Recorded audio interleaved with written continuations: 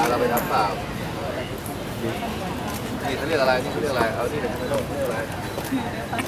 เป็นหนังไอ้หนักดูแล้วให้เอาเนื้อปลาฉลามออกมาดีครับอยากให้ดูเรื่องของการสร้างหัวโค้ระบายนี่ไก่โน่นหลายอย่างมันจะได้เกิด